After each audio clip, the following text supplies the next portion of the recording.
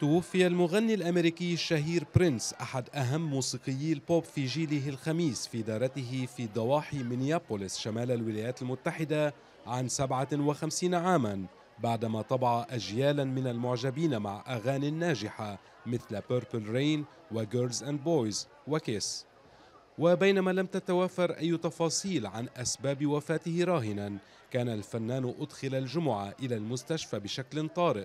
لإصابته بإنفلونزا على ما ذكرت وسائل إعلام مضيفة أن طائرته الخاصة هبطت اضطراريا في إلينوي في طريق عودتها من أتلانتا إلى مينيابوليس حيث أقام حفلتين. وعثرت الشرطة وفرق الإسعاف على المغني فاقدا للوعي في مصعد استديوهات التسجيل المقامة في مقر إقامته بعد تلقيها اتصالا هاتفيا. وحاول المسعفون إنعاشه من دون جدوى.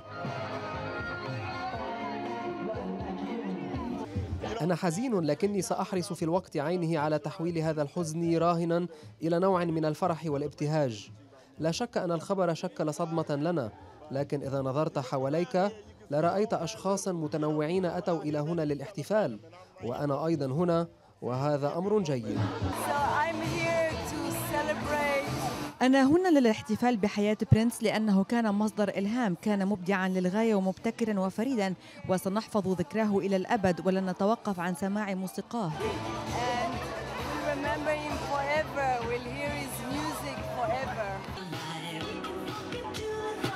وكان برينس الملقب فتى مينيابوليس أحد أهم موسيقيي الثمانينات والتسعينات عبر أغاني رقص على أنغامها الملايين في العالم.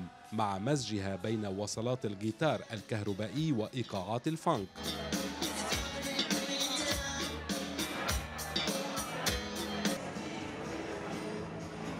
وفاز برينس بسبع جوائز جرامي وجائزة أوسكار عن أغنية Purple Rain وهو أصدر حوالي 30 ألبوما في غضون 40 عاما وباع 70 مليون أسطوانة تقريبا.